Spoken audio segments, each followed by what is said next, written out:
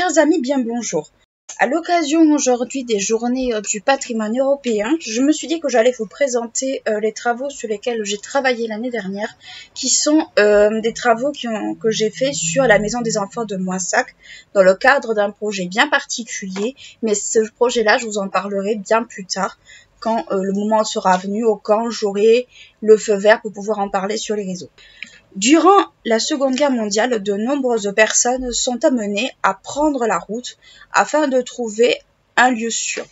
En effet, dès 1939, de nombreuses familles venant du nord de la France, mais aussi du Benelux, donc Benelux, Belgique, Hollande, Pays-Bas de façon générale et Luxembourg, se dirigent vers le sud de la France afin de se mettre en sécurité loin des zones de combat. Parmi ces vagues humaines, on trouve de nombreux enfants qui sont soit avec leurs parents, soit seuls, car leurs parents veulent qu'ils aient la, possibilité, voire la chance de s'en sortir.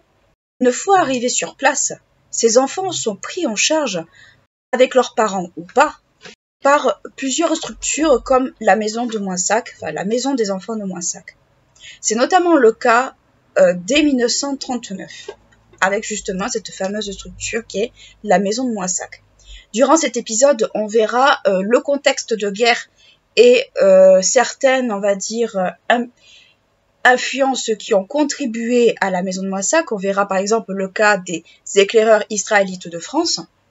Et avant toute chose, je précise que mes recherches se sont arrêtées à 1943, soit à la date de dissolution de la maison de Moissac. Donc, je ne traiterai pas 44 et 45. Je précise avant qu'il y ait une confusion quelconque. En mai 1939, il faut bien avoir en tête que le gouvernement de Vichy n'est pas encore mis en place. Toutefois, la rumeur de la défaite des armées françaises face aux Allemands se propage, voire se répand un peu partout. Cette prise de conscience est encore plus frappante avec l'arrivée des cortèges de réfugiés et de leurs récits. Les conséquences de cette guerre de la guerre notamment, sont un peu moins visibles à Moissac. Toutefois, les habitants de cette dernière ont quand même eu vent des événements qui se sont passés au nord. Au moment du choix du maréchal Pétain comme chef de l'État français, le maire de l'époque, donc le maire de Moissac, Roger de Lille, et le député maire de Lozerte, Étienne euh, Baron, font partie de ceux qui vont accorder les pleins pouvoirs au maréchal en juillet 1940 à Vichy. À ce moment-là, beaucoup voient une forme, on va dire, de salut de la France, une forme de réconfort d'avoir une figure telle que maréchal Pétain à la, tête de la France. Nous verrons par la suite, et cela se confirmera si certains d'entre vous ont déjà euh, travaillé sur la Seconde Guerre mondiale, que cela n'a pas été malheureusement le cas. À cette époque, et durant, on va dire, une certaine période, que ne souffre pas trop de la guerre elle connaît une période plutôt privilégiée par rapport à de nombreuses difficultés qui sont à l'époque des difficultés que tout le monde connaît. Cela touche le ravitaillement, mais aussi les restrictions alimentaires. Des restrictions alimentaires vont être mises en place pour certaines dorées, et de plus en plus on va avoir du mal à se les procurer. Au moment de la première vague des réfugiés, on commence à réquisitionner des bâtiments afin d'installer ces derniers. Ces bâtiments deviennent des centres d'évacuation. On va chercher des bâtiments de préférence loin des agglomérations car on a peur des bombardements. Des structures, comme celle de Moissac, donc comme celle de la maison de Moissac, on en compte 6 au total dans la région Occitanie et un, petit peu au-delà. En février 1940, on compte une trentaine de jeunes Allemands, de Sarrois, d'Autrichiens, non internés dans les camps, mais qui vivent dans le Tarn-et-Garonne.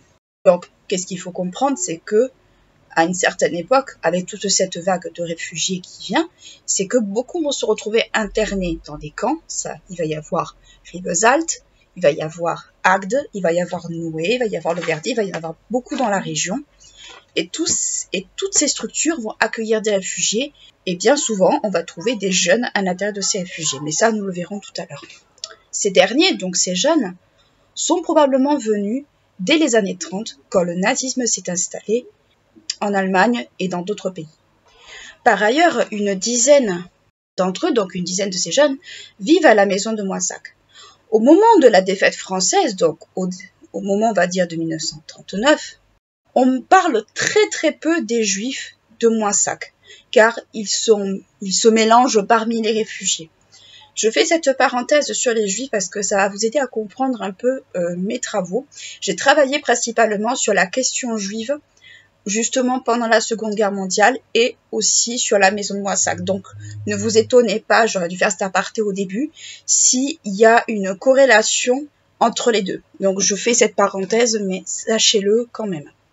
En 1941, ces derniers, donc ces, ces juifs justement, commencent à être de plus en plus visibles et de plus en plus nombreux. Cela est probablement dû à la publication de nombreux décrets l'année précédente et même en 41, il y en a quelques-uns. Ces décrets sont à l'encontre des juifs, donc c'est-à-dire que ce sont eux qui sont principalement visés.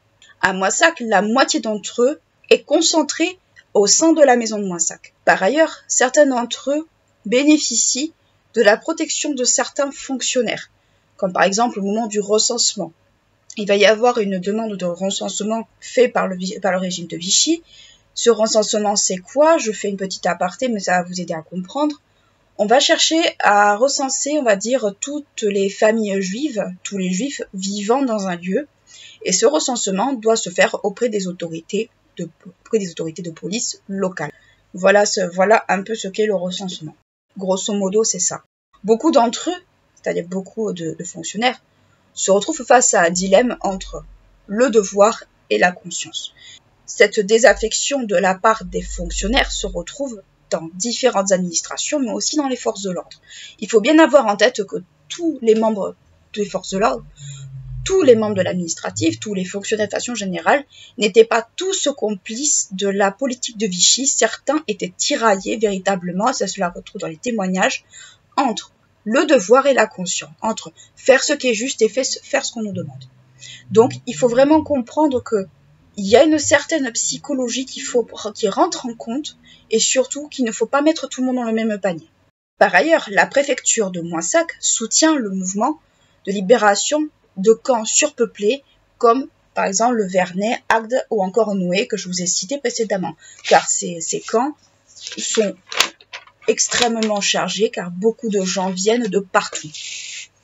L'hostilité envers les juifs n'est pas une chose qui va de soi à cette époque-là. En effet, ce sont, bien avant eux, les Espagnols et les Italiens qui attissent la méfiance de la population locale, donc de la population de Moissac. La chose qui est assez paradoxale, si on doit un petit peu pousser l'analyse plus loin, est qu'il n'y a aucune critique, par contre, à l'encontre des Allemands qui vivent Moissac depuis bien avant la guerre. Donc on peut se demander s'il n'y a pas deux poids, deux mesures euh, dans, dans, cette, dans, certaine, dans cette critique. Est-ce que c'est par peur de, dénonciation? Allez donc savoir pourquoi il n'y a pas de critique formulée à l'encontre des Allemands, mais on se défoule beaucoup plus, on s'est défoulé beaucoup plus les Italiens, les Espagnols et après les Juifs. Ça, on ne peut que démettre des suppositions. Avec le contexte de la guerre, pour les Juifs, le risque de dénonciation est très important. Cela entraîne une forme d'isolement, voire de rejet de ces communautés. Par ailleurs, beaucoup d'accusations sont proférées à leur encontre. Parmi elles, on va retrouver, et le plus souvent, c'est une participation au marché noir. Cette accusation, je le précise, a été formulée à l'encontre des Espagnols et des Italiens bien avant. Toutefois, on s'aperçoit de plus en plus que cette accusation a tendance vraiment à disparaître très vite. Au moment de la création de la maison des enfants de Moissac, un mouvement scout se distingue en contribuant très majoritairement à sa création. Ce sont les IEF, éclaireurs israélites de France. Je précise ça parce que je vais dire IEF durant tout l'épisode. Ce mouvement scout a été créé en 1923. Il est reconnu comme faisant partie d'une des six associations fondatrices du scoutisme français. Donc c'est une association importante. Ce mouvement est dirigé par Robert Gamzo, tête de proue par excellence des IEF et qui va, on le verra dans l'épisode de demain, on va dire avoir une certaine vision, on va dire de l'éducation. Gamzo, euh, pour vous donner un ordre d'idée, Pour Gamzo, euh, l'éducation des jeunes doit passer également par le travail manuel et non pas seulement par le travail intellectuel. Pour lui, il y a trop d'intellectuels dans les communautés juives et pas assez de manuels. Avec la création de la maison de Moissac, je fais une petite parenthèse, mais ça vous montre un petit peu le rôle que l'idée a pu jouer et a, fait germer, c'est qu'il faut un peu du moitié-moitié. Il faut peut-être plus de manuel que de, cérébral, surtout dans un contexte pareil. Donc, la maison de Moissac va petit à petit former de plus en plus de jeunes au travail manuel, avec certainement l'impulsion de cette idée qu'il faut plus de gens manuels que de gens, on va dire, cérébrales. Donc je ferme cette parenthèse, mais c'est pour vous montrer que Gamzo a bien donné son, sa pierre à l'édifice là-dedans et très certainement son idée a contribué au fonctionnement de la maison de Moissac. C'est une hypothèse que je formule, mais au fil de mes lectures, je m'en suis plus ou moins assez fortement aperçu. Parenthèse fermée. Durant la période de la guerre, de nombreux membres des IUF trouvent refuge à Moissac. Ils en font leur quartier général par la suite. On verra dans l'épisode. Le mouvement scout des IUF transforme petit à petit en un vaste réseau de résistance et de sauvetage d'enfants juifs. Et sauvetage notamment par rapport au camp d'internement. Dans cette structure, ce sont principalement des bénévoles, ce ne sont pas des professionnels. Dans cette organisation, les chefs et les cheftaines, donc chefs, les garçons et les filles, ne sont donc pas des professionnels, c'est ce que je viens de vous dire. Les financements des IUF proviennent du comité d'aide aux réfugiés et de l'État pour l'aide aux réfugiés. Ces différentes aides se rapprochent du secrétariat général des IUF afin que les enfants soient éloignés le plus possible des villes, des grandes villes. Ces enfants dirigés vers Moissac ne sont pas véritablement des scouts. En effet, les enfants juifs étrangers sont issus la plupart du temps de milieux très modestes, même si on, va s'apercevoir qu'il y a des, enfants qui viennent de tous horizons, Face à cela, les chefs et les cheftaines mettent en place une organisation par rapport à une haine, et cette, cette haine qui est la haine du juif, cette haine qui devient une haine politique, plus une, voire une haine presque étatique. Ils vont mettre en place toute une, toute une sorte d'organisation afin de pallier ça autant que possible. Ces derniers connaissent d'ailleurs une certaine sérénité jusqu'en 1942. En effet, les rafles et les persécutions y mettent fin de façon, on va dire, quasi définitive. ces rafles, ces persécutions, entraînent des vents de panique, tant dans les communautés juives que dans, que dans ceux qu'ils protègent que dans les réseaux qu'ils protègent. Ces réseaux se dirigent petit à petit vers la clandestinité, mais aussi ils ont ces événements les poussent à accélérer de plus en plus leurs activités. Par ailleurs, ces rafles sont vus et perçus comme un véritable choc au sein de la population. Et je ne parle pas des communautés juives, je parle de la population de façon générale. Imaginez la scène, comme on pourrait le voir dans un film, de familles qu'on extirpe de leur appartement, de leur maison. Ceux qui les extirpent, ce sont des policiers, ce sont des forces de l'ordre, quelles qu'elles soient, français et allemands, Gestapo, compagnie. On leur demande de sortir, on leur demande de laisser leurs biens, on leur demande de tout laisser, pour ensuite les amener on ne sait où. On le saura plus tard que c'est vers soit les camps de la mort, soit ailleurs, mais qu'on parque comme du bétail, qu'on traite comme des animaux et pas comme des êtres humains. Imaginez un peu ce genre de scène à une époque, dans un contexte déjà qui est très oppressant, dans une époque d'insécurité, et surtout, ce que vous voyez à peu près dans les films de guerre sur cette époque-là, c'est globalement ce qui s'est plus ou moins passé. Donc, il faut bien comprendre que c'est pas un contexte très serein pour personne. Concernant les IEF, on assiste à une centralisation des fonctionnalités à Moissac. On met on envoie tout à Moissac. Le secrétariat général parisien, Moissac. On ne on s'embête plus en fait à tout laisser euh, On descend tout vers la zone sud. À Moissac, les IUF participent à l'administration de la maison des enfants avec l'aide des chefs et des cheftaines scouts. Certains participent aux règles de vie de la structure. On le verra dans l'épisode euh, de demain. Les méthodes d'éducation des, enfants, les méthodes d'éducation scout de façon générale, dans le refuge de Moissac et, et dans, on va dire, on va dire le milieu religieux de façon générale, du moins de l'époque, dans ce contexte-là, doivent se faire dans une semi-clandestinité. Cela traduit cette semi-clandestinité, un sentiment d'insécurité bien présent, voire permanent. Ils s'associent, donc les IEF, également au scoutisme catholique et protestant. Et cette association, avec entre catholiques, protestants et juifs, montre une forme de solidarité envers les, toutes ces croyances monothéistes qui veulent combattre justement cette violence, ce contexte violent qu'est celui de cette guerre.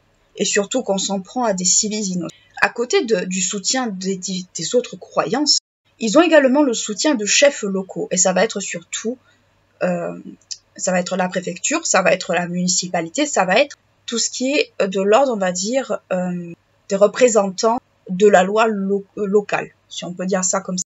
Pendant un temps, le mouvement des IES s'associe à la politique de Vichy, car ils, ont, ils sont également visés par les mesures antisémites qui sont prises au début de la guerre. Le but est probablement de surveiller, voire de limiter les décisions prises à l'encontre des juifs.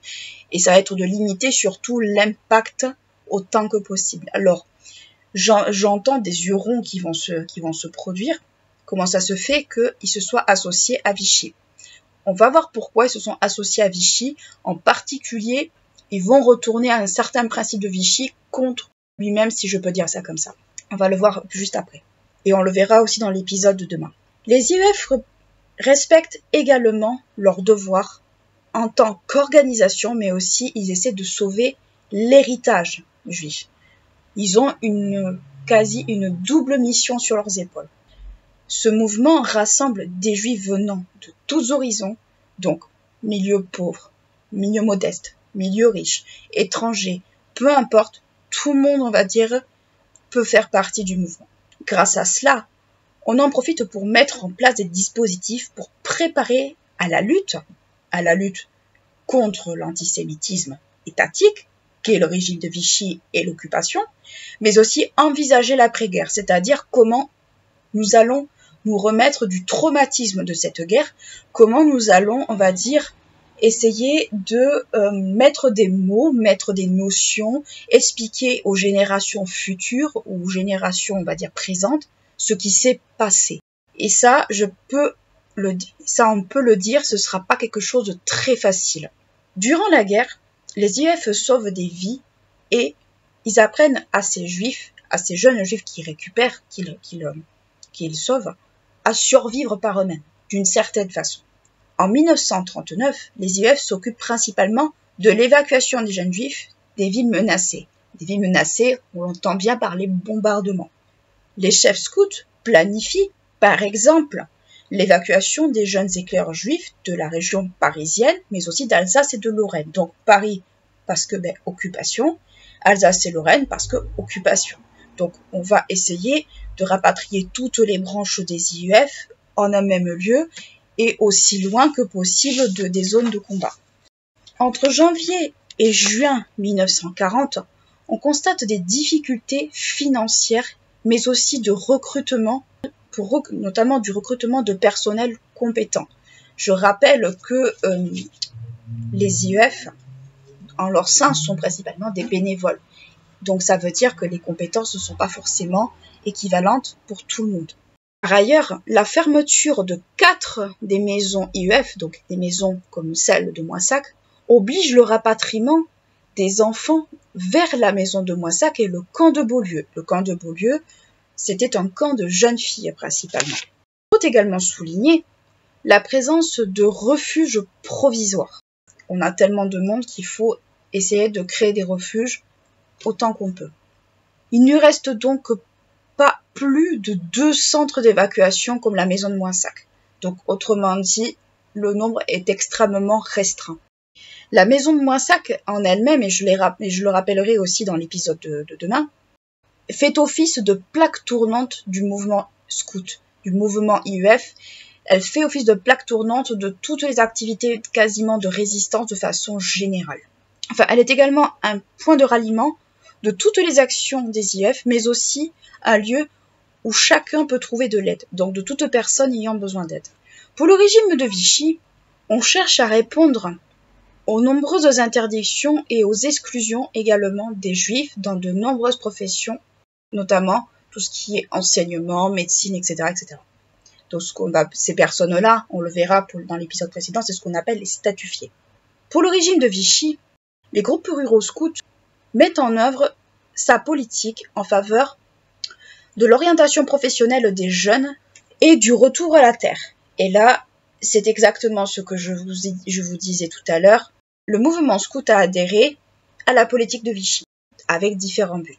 Le coup de orienter les jeunes vers certaines professions, et avec cette histoire de retour à la terre, ils vont se dire, tout simplement, ben tiens, puisqu'on nous prône le retour à la terre, puisqu'on veut créer un centre de formation, la maison de Voissac va devenir un centre de formation, et on va plus ou moins faire croire, même si c'est vraiment aussi un centre de formation à proprement parler, mais de formation différente, on va faire croire qu'on va exactement faire ce que le régime nous demande, c'est-à-dire prôner euh, un retour à la terre, aux valeurs, on va dire, traditionnelles et tout ça.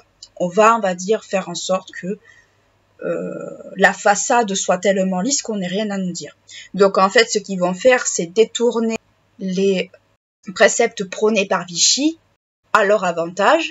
C'est ça aussi pourquoi il y a eu une forme d'association à la politique de Vichy.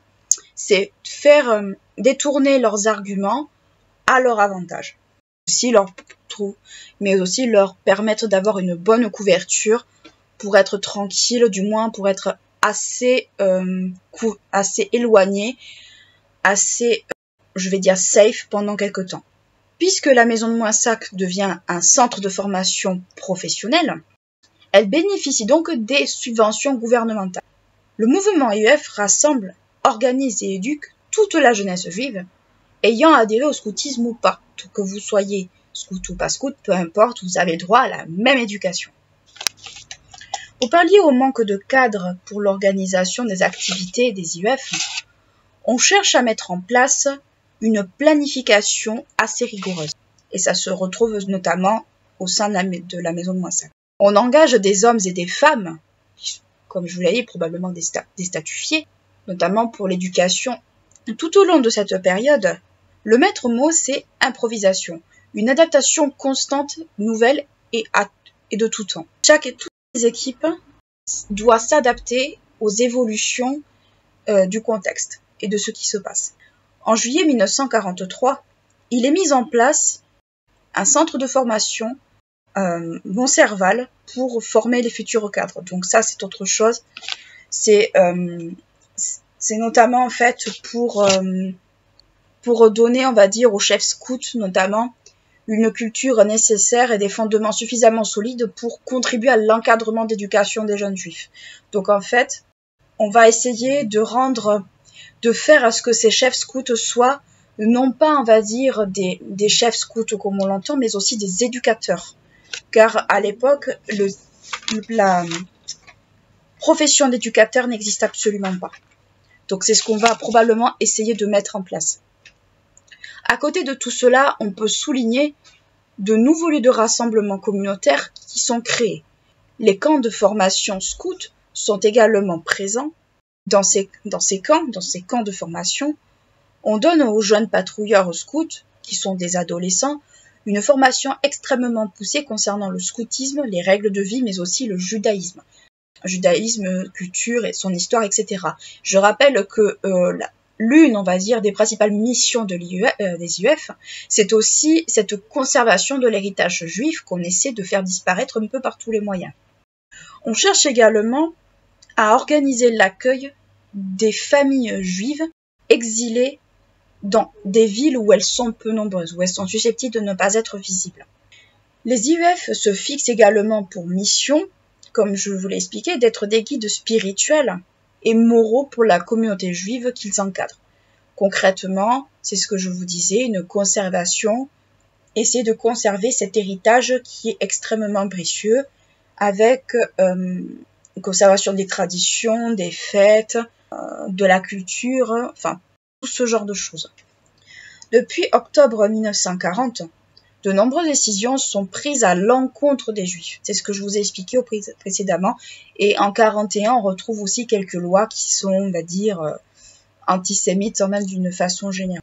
Au moment du recensement, c'est ce que je vous ai expliqué, ordonné par Vichy, les enfants et les chefs de la maison de Moissac ont l'obligation d'aller se déclarer auprès du commissariat de police de la ville de Moissac. Donc c'est ce que je vous avais dit. Il y a obligation pour le recensement d'aller euh, signaler qu'on est, qu'on est juif de naissance euh, auprès de, des autorités euh, compétentes, si on peut dire ça ainsi. La liste des recensés du 7 juillet 1941 compte environ 208 noms de personnes comme étant juives vivant à Moissac. Donc, ça fait quand même un sacré paquet de noms. Avec des lois, avec ces, ces lois qui sont pondues en 1941, il va y avoir un certain nombre de choses qui vont être, faites. Un plan d'alerte est par ailleurs élaboré par les scouts entre le 11, le 11 et le 13 novembre 1941, car les juifs français dorénavant sont traités exactement comme les juifs étrangers, sans distinction. Alors, je vais faire une parenthèse parce qu'il faut que vous compreniez exactement ce qui est le, le schmilblick. Début de la guerre, on vise principalement les juifs étrangers. Les juifs français sont plus ou moins en dehors de, de ça. Ce sont en premier lieu les juifs étrangers qui vont être visés par les premières lois antisémites. Après 40-41, surtout 41, la donne n'est n'est absolument plus la même. Les juifs français, à ce moment-là, sont également visés par les mesures antisémites. Donc, persécution, spoliation, etc., etc. Donc, il faut bien comprendre que à partir justement de fin 41, c'est tout le monde dans le même panier, sans distinction, qu'on soit étranger ou pas étranger, français ou pas français. Donc, si jusqu'à présent, on va dire, les juifs français ne sont pas trop concernés, ils le deviennent très rapidement. Donc, je ferme cette parenthèse pour que vous compreniez un petit peu pourquoi il y a eu ce changement. La parution de décret concernant la loi de novembre 41, c'est ce que je vous disais, avec cette parution, le mouvement des UF se pose tant en tant qu'association indépendante. Toutefois, elle est placée sous la dépendance de l'UGIF, de l'UGF qui est une organisation qui chapeautait toutes les, toutes les associations. La sixième division est une branche clandestine des UF qui apparaît pendant l'année 1943, soit au moment presque où la dissolution de la maison de Moissac commence, on va dire, à être réfléchie. Elle pratique des actes isolés, mais au fur et à mesure, avec l'accroissement du danger, avec les rafles, les persécutions, etc., etc., les déportations aussi, on assiste à une planification très minutieuse du sauvetage des enfants. Sauvetage des, enfants qui va être une des missions principales de la 6e division. Plus de 800 enfants, Moissac inclus, sont prises en charge sur tout le territoire français. À cela, il faut ajouter 500 autres personnes que les UF font passer à l'étranger. Et quand j'entends à l'étranger, c'est en Espagne, ça peut surprendre, mais oui, mais aussi en Suisse. par tout un réseau de résistance et pas tout un réseau, on va dire, très mis en place et très minutieux, on va faire passer petit à petit des personnes dans des, dans des zones où on sait où on n'ira pas les chercher, où on soupçonnera pas qu'ils y soient. Les événements qui se déroulent entre 1942 et 1943 entraînent plusieurs remises en question.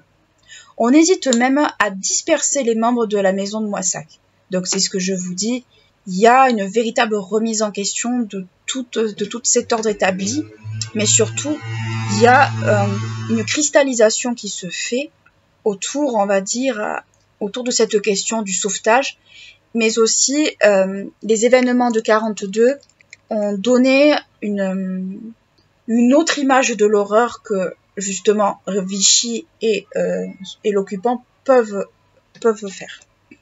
À la fin du mois d'octobre et à la fin du mois de novembre 43, on compte environ 300 enfants qui sont encore hébergés dans la maison de Moissac. Dans la maison des IF, mais maison de Moissac, sous la responsabilité de Chata Simon. Chata Simon, on en parlera dans l'épisode de demain, qui est une figure extrêmement important de la maison de Moissac, pour pas dire que c'est la tête de proue de la maison de Moissac. Et par la sixième division, qui se cache sous de fausses identités. En effet, il existe à Moissac un grand réseau de fabrication de faux papiers, et c'est euh, ça va euh, de la mairie jusqu'aux commerçants du coin. Donc tout le monde participe à la, à la fabrication de faux papiers, avec la création euh, de, de, tampons officiels, enfin pseudo-officiels, avec euh, des gommes, des patates, des, choses comme ça. Euh, ça va être de la, subtiliser des tampons officiels dans les mairies, ça va être tout un tas de choses.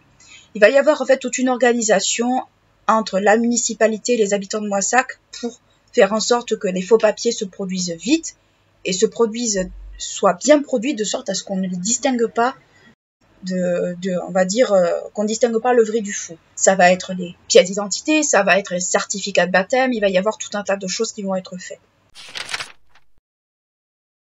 C'est tout ce que nous allons apprendre pour aujourd'hui, c'est tout ce dont nous allons parler pour aujourd'hui, pour cet épisode. Je sais que c'est un sacré morceau, je sais que c'est extrêmement compliqué. La maison de Moissac et, et tout sa création et tout ça viendront à l'épisode de demain. Donc je vous demanderai de patienter jusqu'à demain pour entendre exactement tout ce qui s'est passé. Ce sont des recherches que j'ai euh, faites pour dans le cadre dans un cadre bien spécifique. Ce sont des recherches que j'ai faites euh, qui n'ont pas été faciles, je vous le cache pas, tant on va dire pour connaître le contexte, que ce soit à Toulouse ou à Moissac, euh, par rapport à la guerre, par rapport aux décisions qui ont été prises et tout ça. Et encore, si vous voulez quelque chose de beaucoup plus détaillé, n'hésitez pas à mettre dans la barre des commentaires, vous savez que je réponds toujours. Mais là, je préfère ne pas vous, vous submerger avec tous les décrets et tout ça. C'est très volontaire de ma part parce que ce serait trop long. Je vous remercie de m'avoir écouté durant euh, cet épisode. J'espère qu'il vous aura intéressé, qu'il vous, a, qu'il vous aura plu.